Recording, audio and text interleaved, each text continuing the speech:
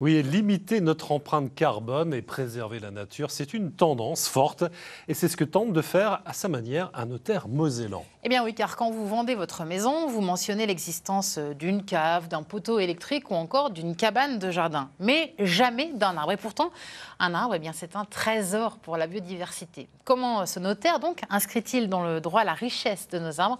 Eh bien la réponse est avec Styliana Pev et Robin Droulez. Alors, donc voilà le, chêne que, que, nous avions évoqué euh, euh, lors de l'entretien téléphonique. Un chêne de 20 mètres de haut, un patrimoine que cette jeune femme souhaite préserver. Delphine Stegre a pris la décision. Ce spécimen sera sur son testament.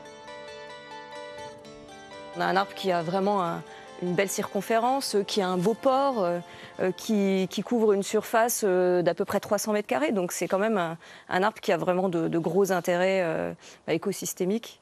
Donc c'est vraiment très très important pour nous de le garder pour, pour l'aspect écologique qu'il présente et puis pour l'aspect patrimonial également qu'il présente. À côté d'elle, Maître Artenstein, le notaire qui va rédiger le testament Photos, espèces botaniques, position exacte de l'arbre, en plus des données factuelles et l'obligation de maintenir l'arbre en vie, les futurs héritiers auront des conseils pratiques. On explique euh, ce qu'il faut faire, pas faire aussi dans les grandes lignes dans le testament. Notamment, pas empiéter son réseau racinaire, ne pas couper des branches maîtresses euh, fondamentales pour l'arbre, respecter son houppier. Donc voilà, c'est des soins prodigués sur le long terme. Indispensable à la vie humaine, les arbres produisent notre oxygène, capturent les particules nocives, stockent le carbone et limitent les ravinements et les inondations. Pourtant, les préserver juridiquement n'est pas une chose évidente. Déjà, juridiquement, ce sont des, objets de droit. Pas plus de considération qu'un poteau, qu'un pylône électrique. en fait, ils ne sont, pas définis, ils sont classés, les arbres. On ne les définit pas comme des êtres vivants, mais comme des objets. Les notaires ont oublié, le droit a oublié les arbres. Et moi, je m'emploie depuis 5, 6, 7 ans avec beaucoup de personnes à redonner aux arbres la place qu'ils méritent.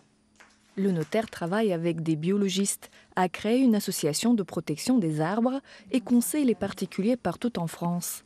À part dans un testament, un arbre peut figurer dans un acte de vente.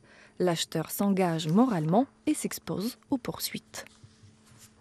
On a créé un barème de l'arbre. Un arbre qui a 250 ans peut aller jusqu'à 50 000 euros en valeur. Donc si quelqu'un a pris l'engagement de le respecter et malheureusement ne respecte pas, il sait qu'il s'expose à une indemnité de 50 000 euros. Alors malheureusement, l'arbre sera coupé, les 50 000 euros, ce ne sera pas une consolation parce que l'arbre végétal sera abattu. Mais voilà, c'est dissuasif pour nous. Si l'arbre ne présente pas en danger, c'est un bien au profit multiple pour l'homme et pour l'environnement. Certes, il faut s'en occuper, mais grâce à ces nouvelles avancées juridiques, il est en mesure d'augmenter la valeur de votre maison.